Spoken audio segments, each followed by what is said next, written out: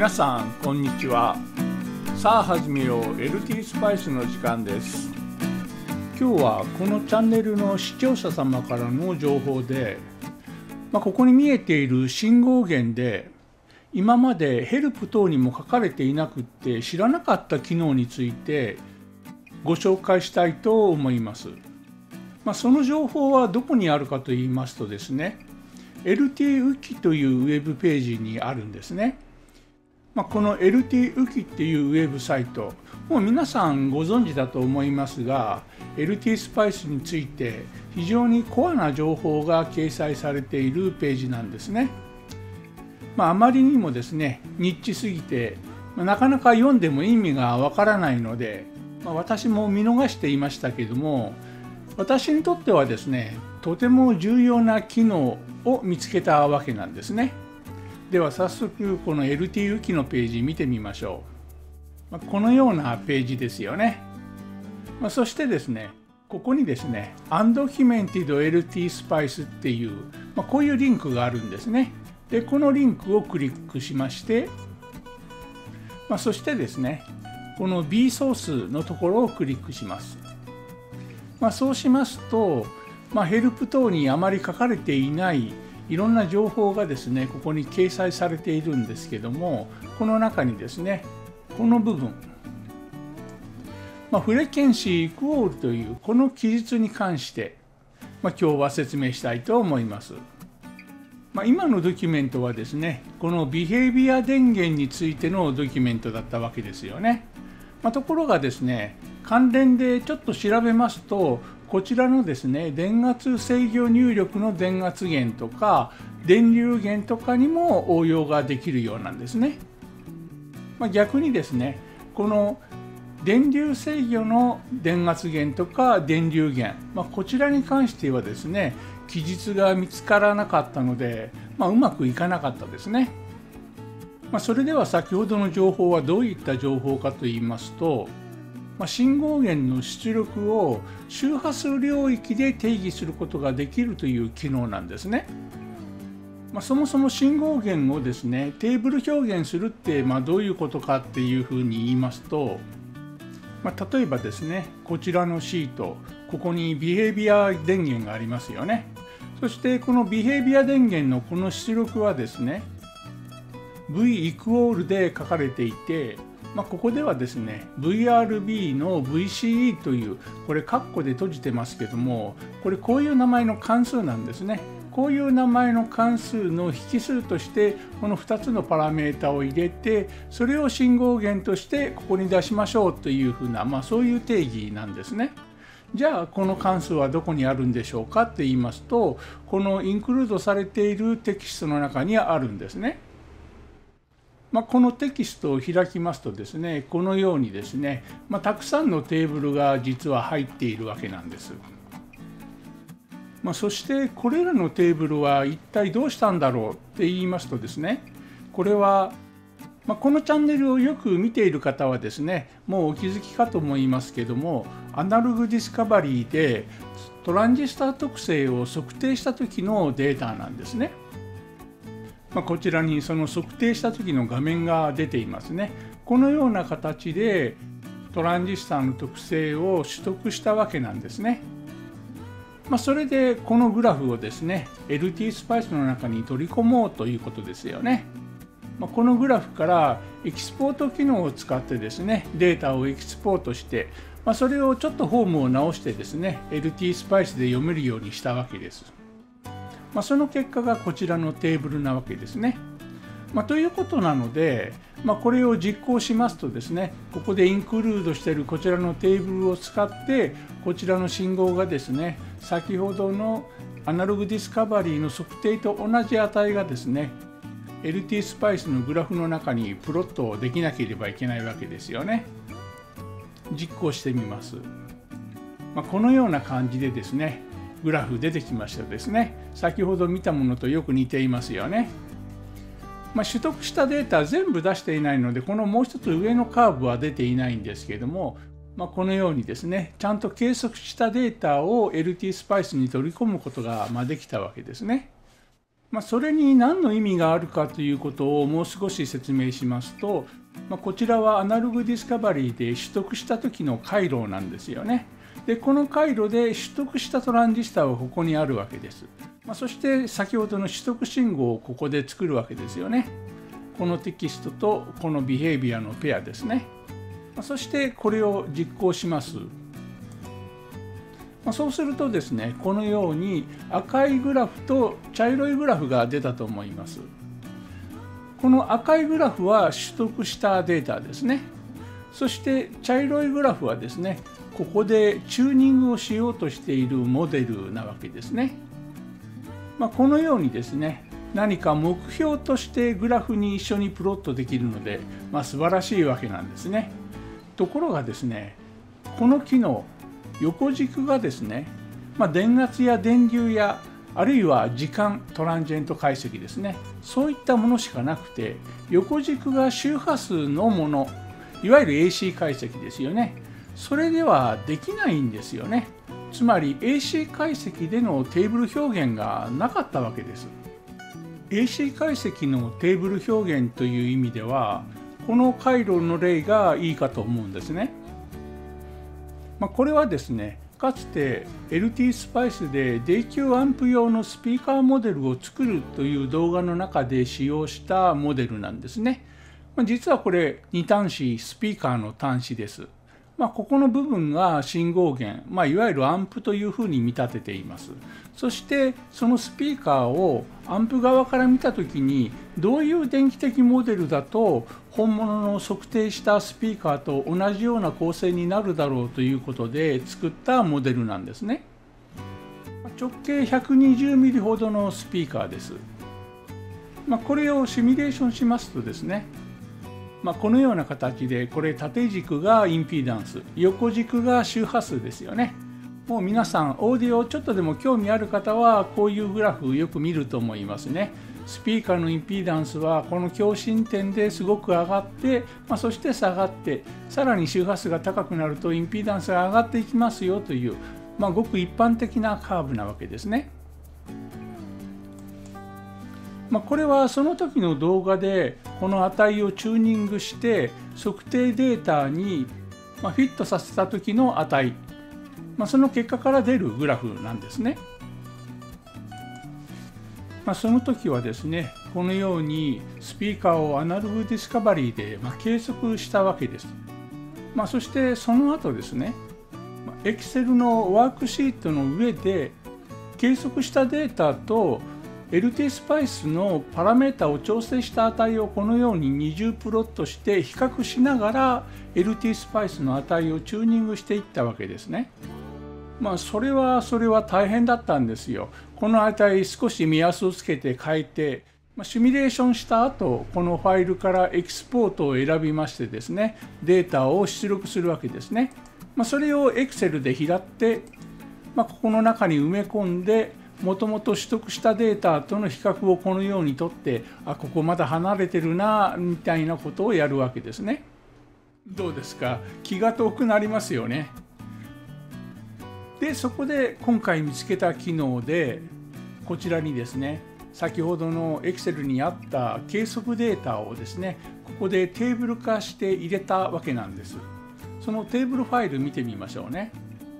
まあ、このような形でテーブル化しているんです。これは Analog Discovery で取得したデータです。そしてですね、 behavior 電源で取得したデータを発生させることができたわけですから、このグラフの中にですね、こちらの電圧を、そのまま表示してみたいと思います。どうでしょう？このように出たわけですね。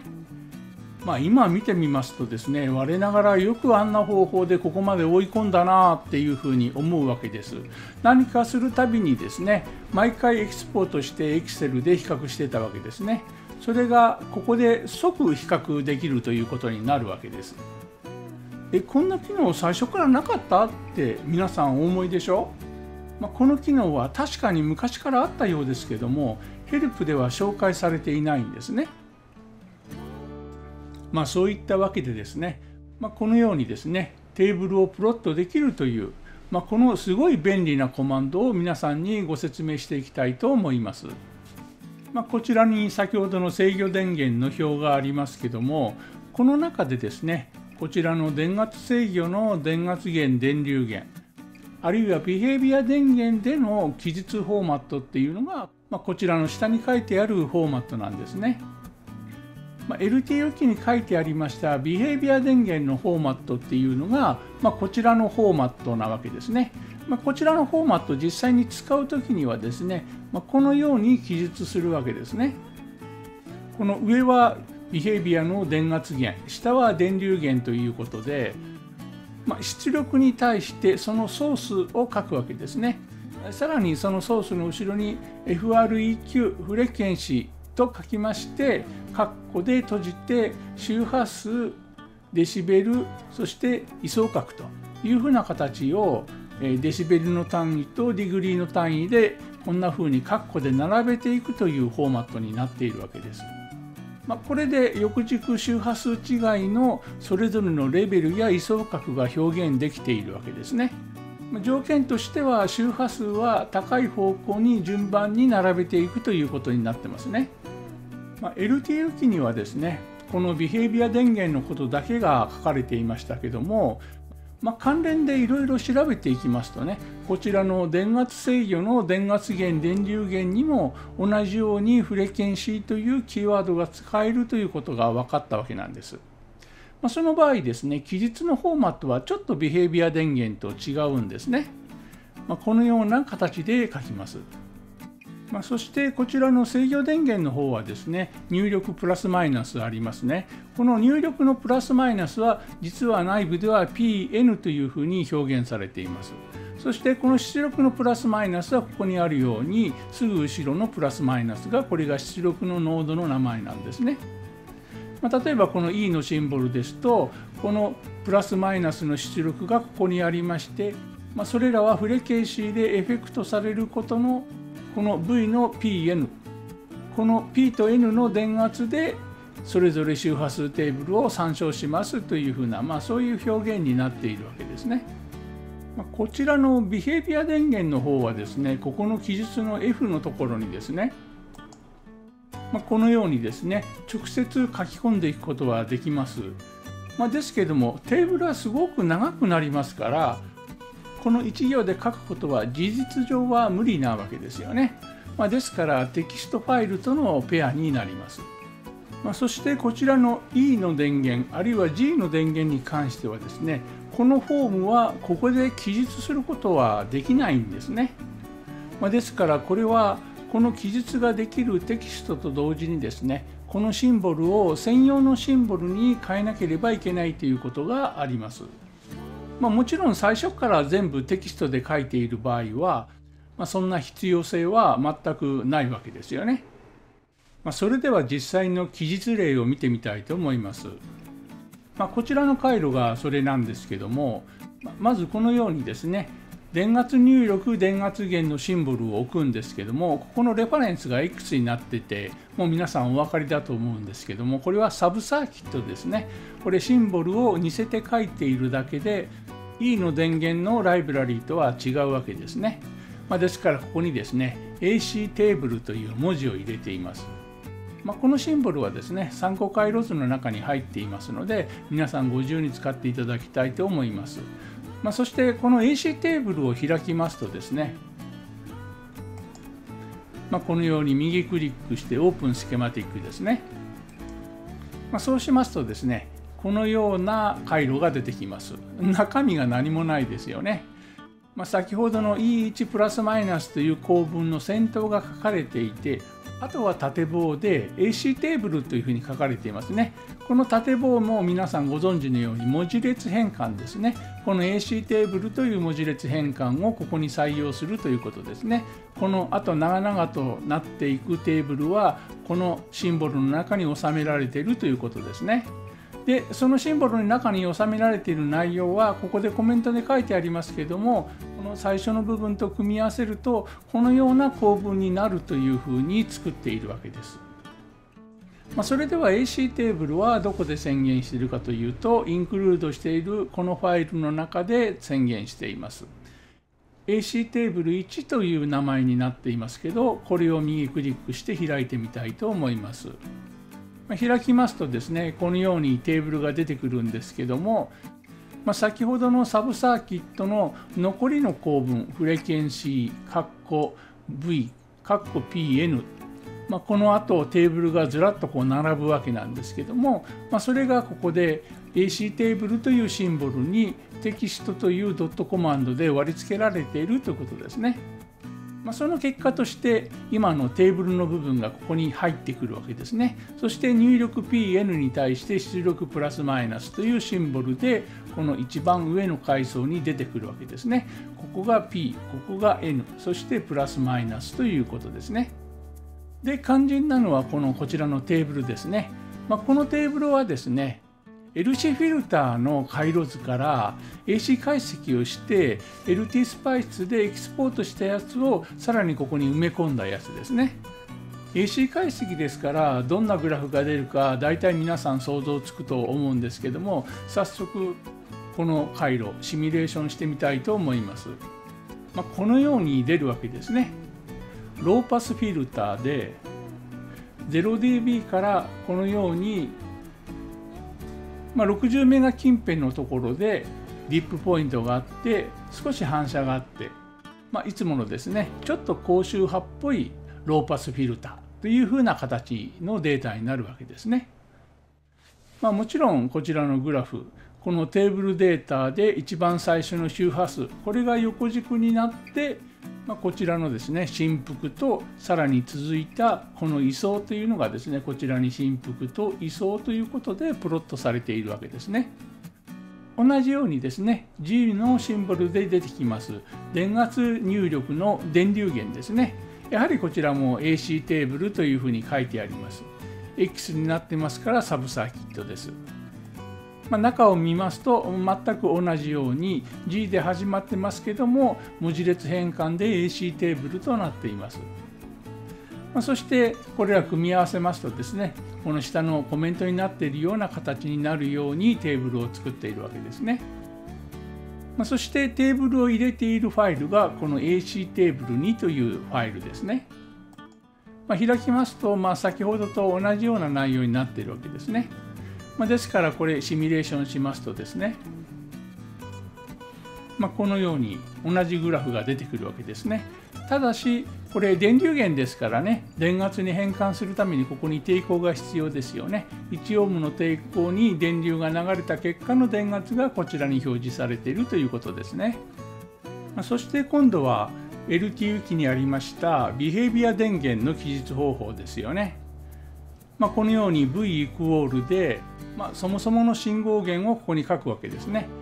まあ、今はこちらのこのインの電圧ですから V カッコインということになりますよね。そしてその後ですね、フレケンシーで続くわけなんですけども、まあ、それはこちらのコメントであるような形で続けていくわけなんですけども、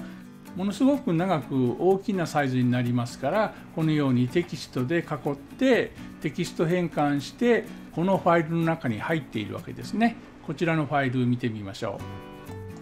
まあ、このようになっているわけですね。ここの書き出しの部分が先ほどまでとちょっと違いますよね。ビヘイビアテーブル用にもういきなりフレッケンシーというふうな形で始まっていますね。そしてイクオールはありません。まあ、それでこれを実行しますと、まあ、このようにですね、ちゃんと先ほどの E 電源あるいは G 電源と同じように出てくるわけですね。まあ、こちらはそもそもこの Behavior のオリジナルのライブラリーでこのような記述ができるので先ほどのようにですね特別なシンボルを使わなくても上手に使えるようになるわけですね。Behavior の電流源は G のシンボルとは違って全く Behavior の電圧源と同じ記述ですね違うのはここが I イコールになるだけなんですね。まあ、そして電流源ですからね負荷に抵抗をちゃんと入れてあげなきゃいけないですね。こちらもシミュレーションして確認してみたいと思います、ま、このように同じグラフが当然出てきますよね、